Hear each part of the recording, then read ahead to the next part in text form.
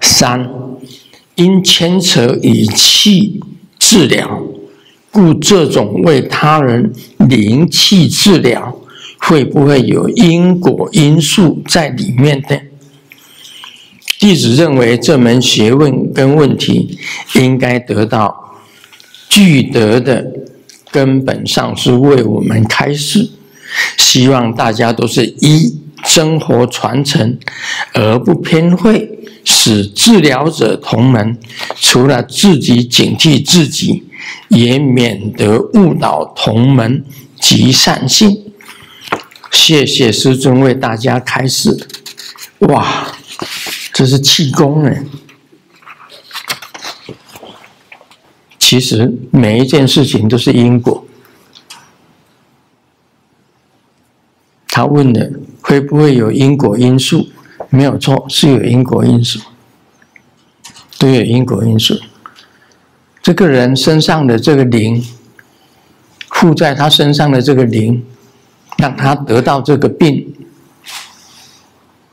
那么是跟他也是有因果的，你不顾因果，拍了他以后，他也会影响到你这个帮他治的人，必须要有一种灵的力量啊，之间要调和，通通要调和，其中还是有一些因果在里面的，这是一门很大的学问，一时也讲不清楚。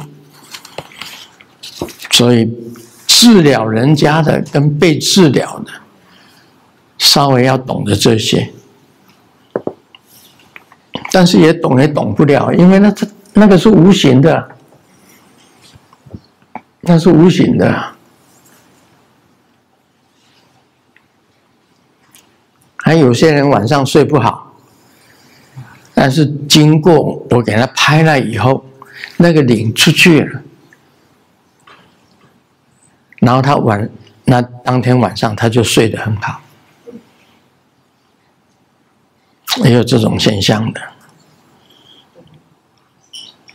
不过这只是一个表面上，其实这里面学问很深的，里面很很多的学问，而且我们好像我在帮人家的忙的时候啊，自己有时候也要修复法。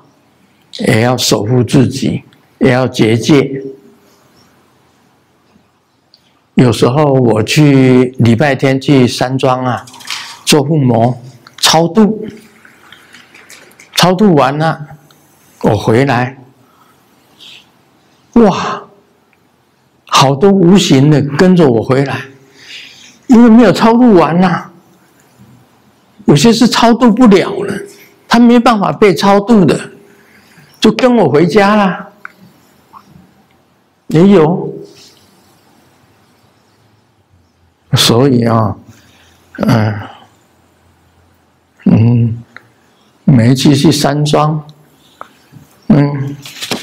薄薄的，薄薄的一点，我还背负着这些这些灵魂那么多跟我回家，我还要一个一个打花。发不来啊！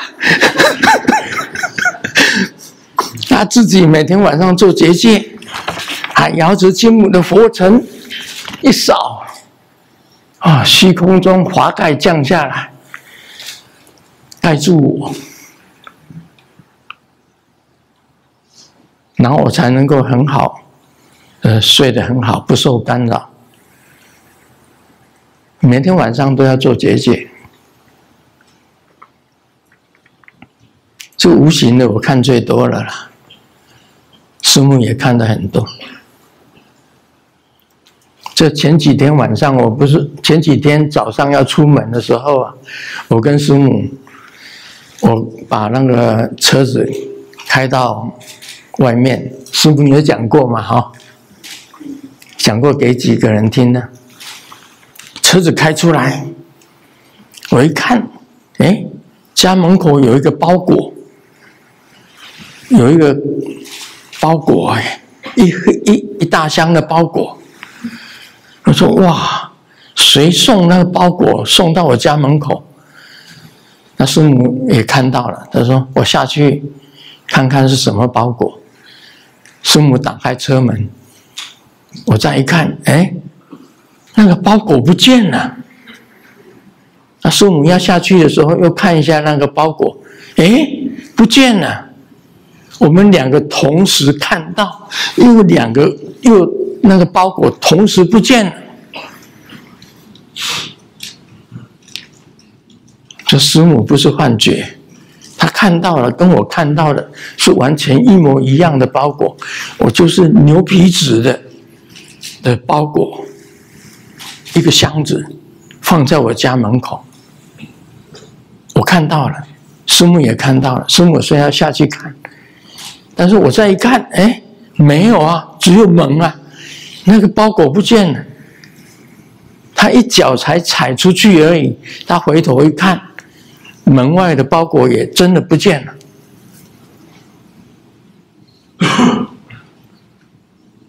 变魔术吗？虚空在哪一个活菩萨给我变魔术？你们从实招来。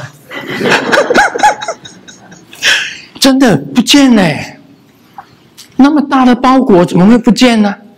那个包裹就像那个写着事实那个，你拿起来给大家看一下。四十分钟，这么大的一个包裹，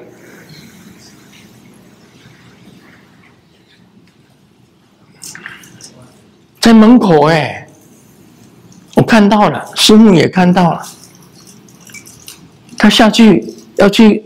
看包裹是什么东西的时候，我一看，哎，不见了。我跟师母讲，师母一看，哎，好，真的不见了。你说可能吗？好奇怪啊，变魔术一样哎。这个世界是魔幻世界，所以这个回答马来西亚这个这个 Chain Noto